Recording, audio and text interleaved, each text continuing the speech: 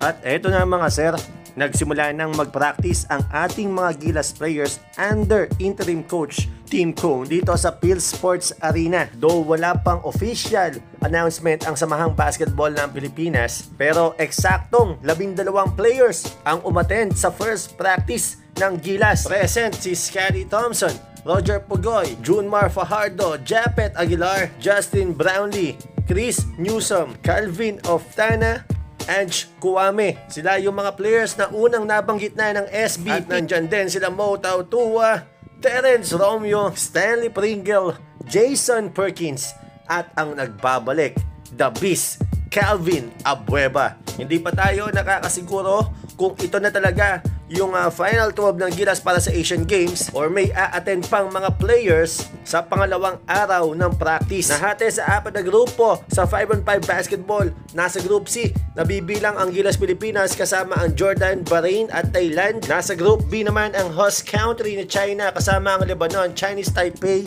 Mongolia, Nasa Group A naman ang Iran, Kazakhstan, Saudi Arabia, UAE at sa Group D, nandyan ang Japan, South Korea, Indonesia at Qatar. Ang first game ng Gilas Pilipinas sa Asian Games, September 26 laban sa Bahrain, September 28 laban sa Thailand at September 30 laban naman sa Bahrain. At yan lamang po ang ating pinakalatest na balita tungkol sa Gilas Pilipinas. Manatiling tumutok dito sa aking YouTube channel para sa mga upcoming news sa mundo ng Philippine basketball. At tapos na ang FIBA World Cup pero hindi ibig sabihin yan, wala na tayong 1xbet. Tuloy-tuloy nyo lang ang pag-register at pag-deposit dito sa one of the top betting sites sa buong mundo. Sabayan ng paglilibang ang mga basketball game sa iba't ibang liga. Use your email or your mobile number para magrehistro at huwag kalimutan ilagay ang aking promo code THESIDE para makakuha ng at least 6,500 na welcome bonus. Banks, e-wallets, cryptocurrencies, pwedeng pang cash in at pang cash out. Ano pa hinihintay nyo?